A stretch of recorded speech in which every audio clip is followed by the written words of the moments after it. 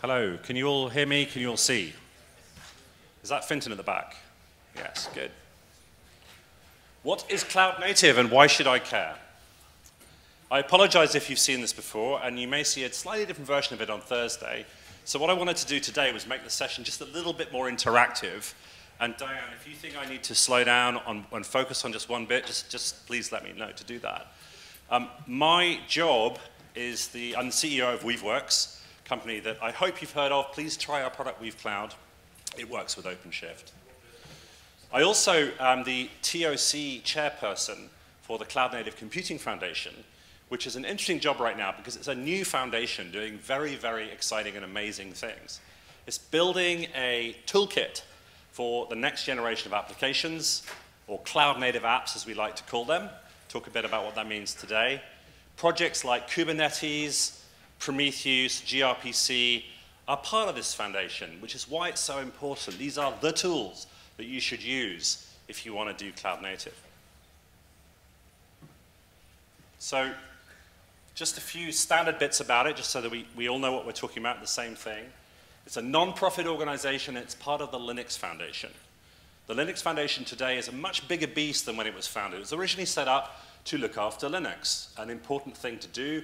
So important that now Microsoft has joined the Linux Foundation, I think not too many months ago. It's organized into different sub-foundations, each of which focuses on a particular area of functionality. There's another one for blockchain, for example.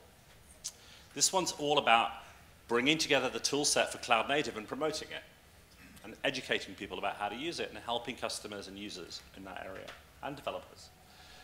As of today, we have seven projects in the Cloud Native Foundation. Um, here they are. You might recognize some of these. Who here has heard of Kubernetes? Who here has not heard of Kubernetes? There you go. Thank you. Um, you may not know all of the projects. FluentD is a logging system uh, for log, log forwarding. CoreDNS was originally SkyDNS. It's a refactoring to work in a number of broader use cases, and it's a standalone modern DNS server the author wrote 8888, so he knows what he's do doing. Um, gRPC is the replacement transport for things like REST and JSON when you're doing high performance cloud native style you know, scalable architectures originally developed at Google. Linkerd is an iteration from Finagle, originally developed at Twitter. It's a tool for more RPC in the case where you need to have a web-facing proxy and you need to scale that. As you know, Twitter have all kinds of scalability issues, uh, little Tweety birds holding up whales and things like that. So Linkerd was born out of that need. Open tracing is a toolkit for building tracing libraries in a standard manner because people believe, or we believe in the TOC, that you will want to trace everything pretty soon. So we need a way of helping you to do that.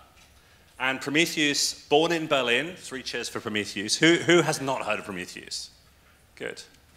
It's a monitoring, alerting, and analytics tool. And there are sponsor members, companies that you've probably heard of. I don't know why Weaveworks is not on here, but it should be. Um, so uh, let's just go on. Okay. And it's important to see cloud native as part of a longer progression of series of changes in computing. Um, going right back to um, when I first got involved in the industry around the year 2000, when it was all about you know, hardware and selling tin and salespeople selling tin.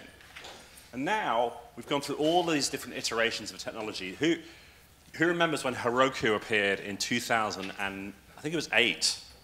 Okay, they invented a bunch of the stuff that people take for granted today. But the original problem Heroku was trying to solve was Ruby's really great to develop with, but it's a nightmare operationally, and I'm trying to use the cloud, so how do I do that?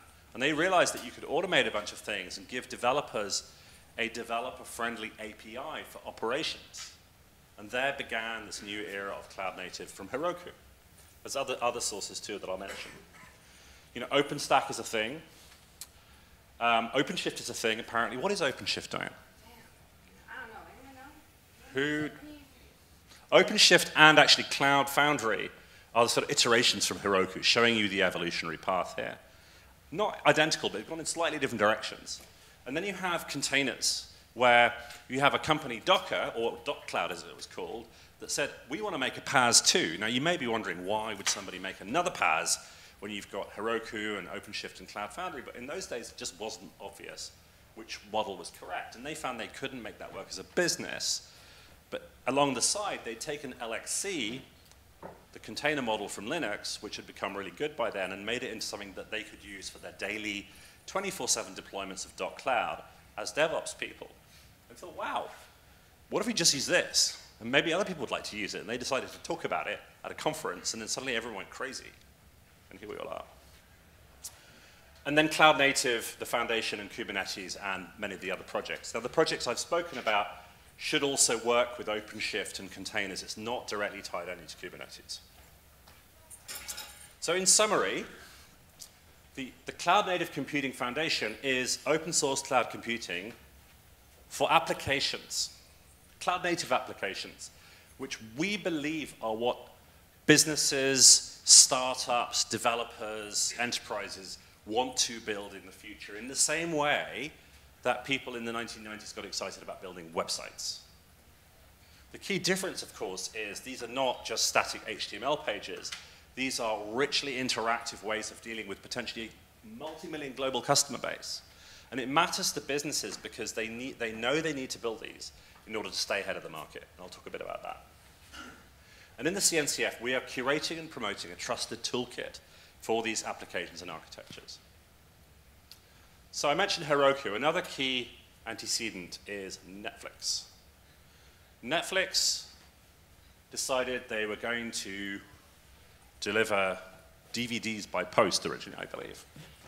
And at some point they thought, hmm, this Amazon 1999 business model isn't working out too well. We're not very different from a blockbuster at the end of the day, and people always forget to send their DVDs back. And somebody said, well, could we deliver it over the web and get rid of the, all that postage and waiting for things to come back and the plastic CDs and everything else? And they tried it out on the web by then, just about was good enough to do this. And they thought, okay, we can send a movie or a TV show over the internet to some people. What if we wanted to do this anywhere in the world, at any time, and make sure that people could pretty much guarantee that when they click the button play, the film will actually show and they will be entertained? not flickery or you need to install some more software or it pauses, there's a little wibbly pie chart and things like that. So they wrote the technology team that was tasked with meeting this obvious and simple business requirement, um, wrote down these criteria, um, which they subsequently talked about. These slides are actually from a much later Amazon Web Services reInvent conference, and there's a link there. I recommend you look at them. There's many slides from Netflix on the subject. Um, but the requirements were web scale, global, highly available, consumer facing, and they called it, ha, just for short, let's call it cloud native. And uh, cloud native for Netflix was a very practical and important business consideration. Their customers had this kind of what, what the CEO calls the moment of truth, which basically is a kind of Harvard business person's way of saying a family sits down on the sofa, and are they going to read a fulfilling educational book or talk to each other and you know, build a relationship among themselves, or are they going to turn on the TV? And of course, Netflix want to win that war. They want you to turn on the TV because it's instantly pleasing.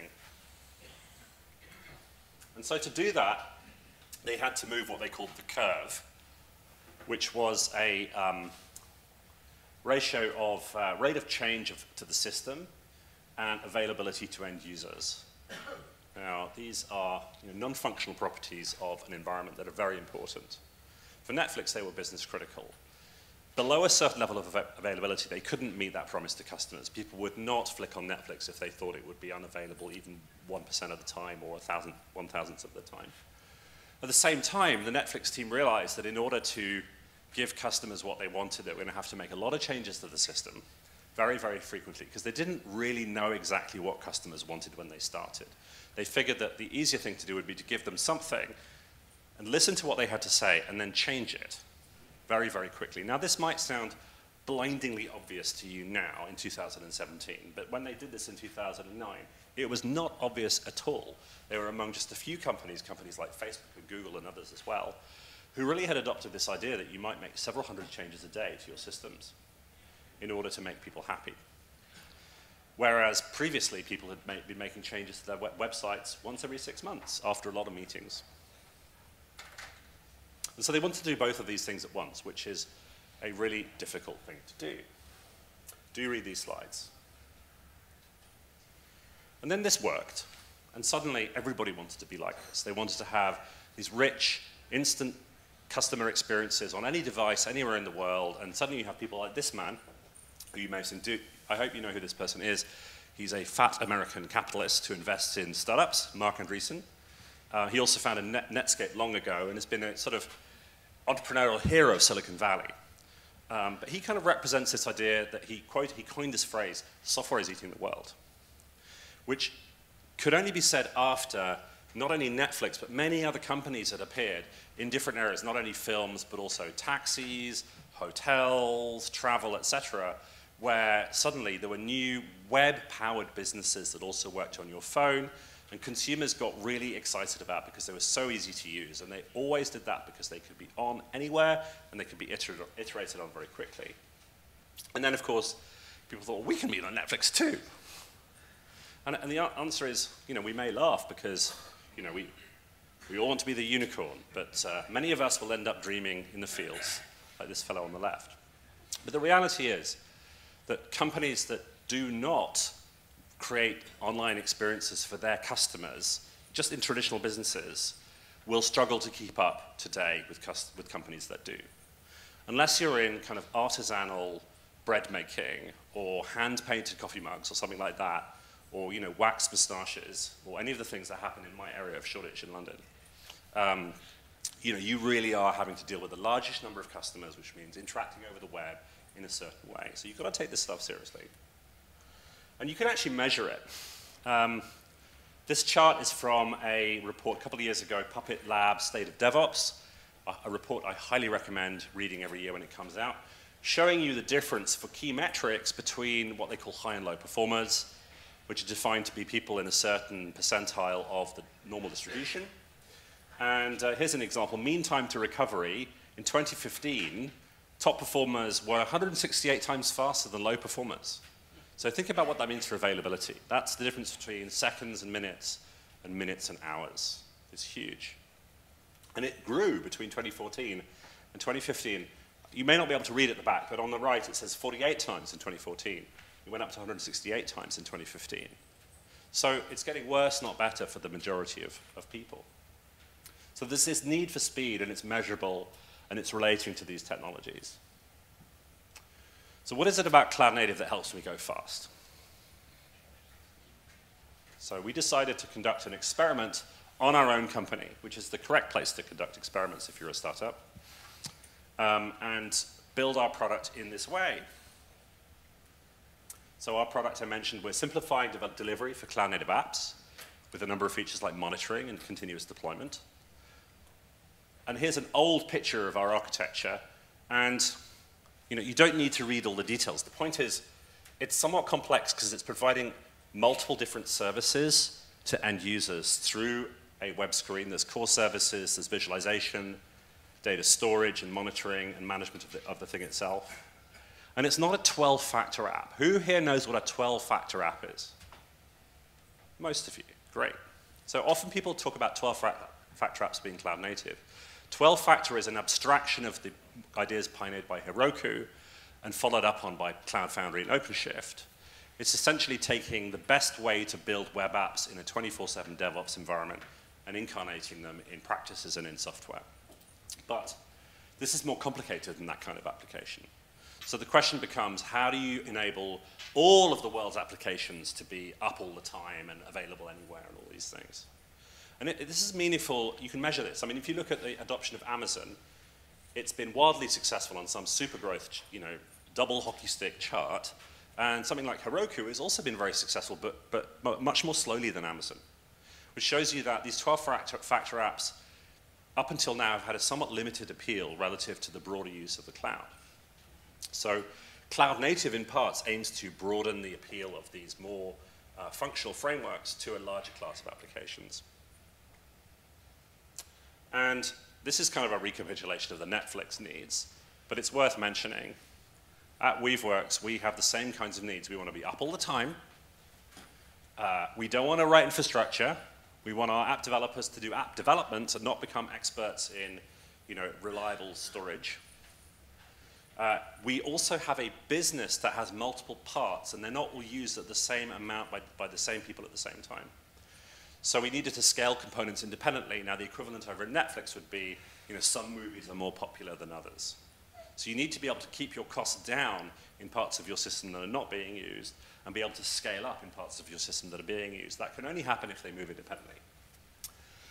We didn't want to spend lots of money integrating infrastructure either, so we use Kubernetes and Prometheus to power our app. In fact, we've been running Kubernetes in production on Amazon for nearly two years now on multiple zones. It's pretty cool. Um, but we didn't want to do all the work that we, we wanted to kind of come out of the open source community there. We do also contribute. And finally, we want it to be open source, not Amazon source. Now, we, we love Amazon. We absolutely give them tons of money. We're very happy to run on Amazon. But, but we, we don't want to feel like we're stuck there. We want to know that if we have customers who need to be on Google Cloud, or need to be on IBM Bluemix, or need to be on their own machines, that we can do that. Which means that not only must the infrastructure be portable, but all the services around it have to be portable too. And they're just not today. There are bits missing. So where are those portable, multi-cloud, open services going to come from? Answer, somebody's got to bring them together. So to summarize our technical needs, they're basically automation, which leads you down the path of orchestration today, orchestrating containers and scheduling them to make apps, and CI/CD, which is the automation of deployment. Abstracting the infrastructure from the app by standard packaging, hence containers turn out to be a solution to that problem. And cloud-native patterns, different patterns for different parts of the app. How do you monitor? How do you log? How do you stay available? How do you do alerts? How do you fix things when they go wrong?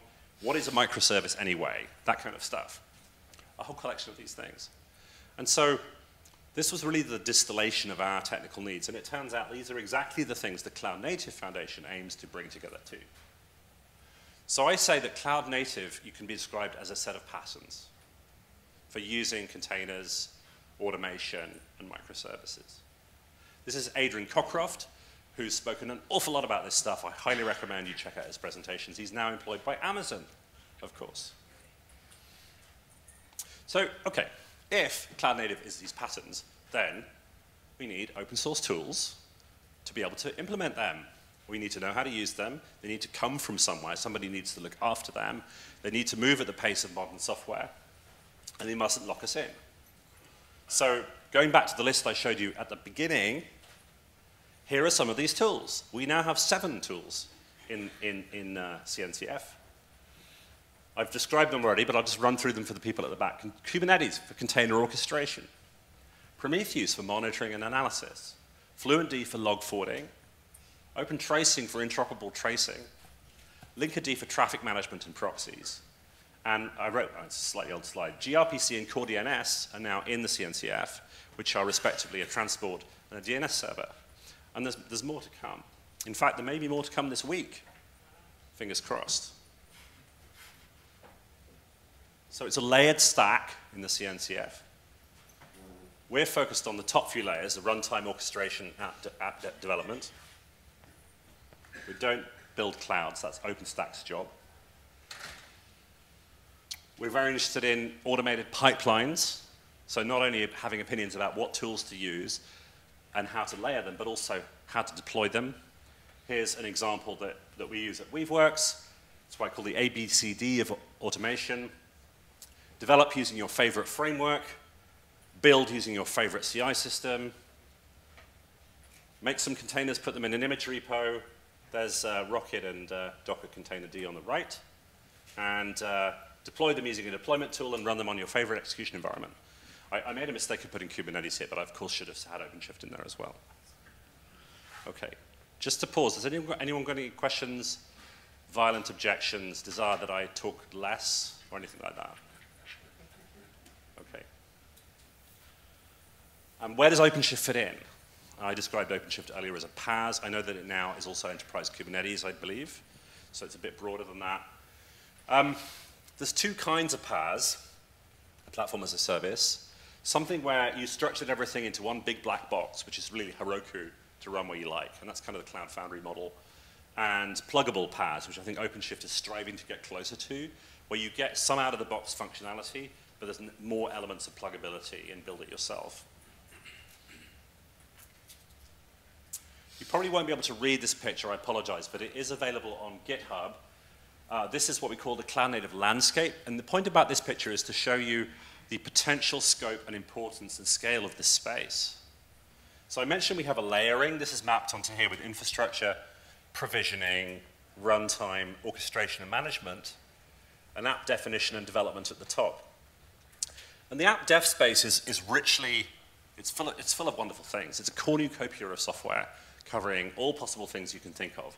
Languages and frameworks, databases, streaming, source code management, app dev, registry services, CI/CD, and API servers. And the CNCF doesn't aspire to provide you with all of those things, but they are there to show you what could be run on top of the right stack. We are very focused on the middle layers, orchestration and management and the runtime, maybe a bit of the provisioning, and then also how you monitor and manage all this stuff. We've got platforms for management, observability, and analytics on the right. And the tools that I mentioned are all shown here somewhere, and this also maps out some of the things that we might want to see in the foundation in the future. So I've mentioned the word foundation a lot. Why do we need a foundation? What is it? Is it a benevolent technocracy? Is it like Star Trek? Is it some kind of karmic Buddhist thing? What it's really about is everybody working together. Yes, and dancing together. Here's the Linux Foundation. It's Safeguard Linux for the long term. This is really good for customers because they understand the brand, they know it's open source, it's a way to collaborate in a trusted manner, as we discussed in the panel this morning, and it brings them together under one umbrella to do that. So, last few points coming up. This gives you a way to have common open source, not single vendor open source, but open source that is truly shared and trusted by everybody from end users to vendors, SIs, consultancies, cloud providers, the lot. And this is important because I mentioned software is eating the world, open source is eating software, and cloud is now eating open source. So we need a defense against that. So the commons provides us a way out of the lock-in puzzle created by the huge growth of cloud and its consumption of everything, which is, of course, terrifying if, like me, you were a small furry animal inside. So what steps are we taking to help deal with that? We curate open source in a way that everybody can use. People like Docker, Google, IBM, eBay, and Goldman can all play nicely together. This is amazingly new. And we look for high quality. This is the job of the TOC, is to identify high quality projects and the rules that go with those. We don't pick winners, we just pick quality and speed.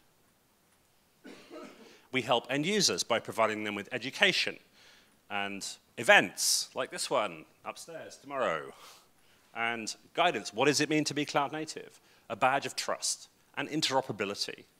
How can we make sure that Kubernetes does work with Prometheus and Fluentd? We can help to do that, all under one big brand, trusted commons. And then, of course, we have to help the projects. And if you're a developer who's involved in one of these things, this is incredibly important to us. So we're project first, ultimately. We believe that good projects get good users, make them happy, and that makes the project successful. And that's a virtuous cycle that we want to support. So just to wrap,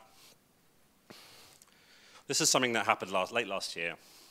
Samsung, guy called Bob, Bob Wise, really great bloke, said, I call upon the CNCF to foster a common community container implementation that can be used by Kubernetes, Mesos, and Cloud Foundry, backed by them. It's transparent to, default, to become the default container implementation for a wide number of open source orchestration systems. And he called it an ode to boring. Infrastructure should be boring. And since that time, both Containerd from Docker and RKT from CoreOS have been proposed as container implementations, and they're being voted on right now.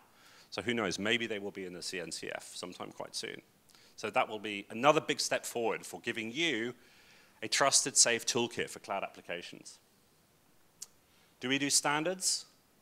It's not about standards. It's about giving people tools they can trust. So here's how we see it evolving. Right now, we're still at the stage of new projects coming in and getting faster and faster. Kubernetes is one of the most outstandingly su successful projects in the market today. Docker is, you know, also amazing. Then we're building a cloud native story around that, which this presentation is part of that process. And finally, we hope that as time goes by, people will see this as completely standard technology you can use in the same way as websites are now a de facto standard for everybody. So to finish up, Cloud Native Foundation is open source cloud computing for applications. And the job of the foundation is to curate and promote a trusted toolkit for modern architectures. Thank you very much.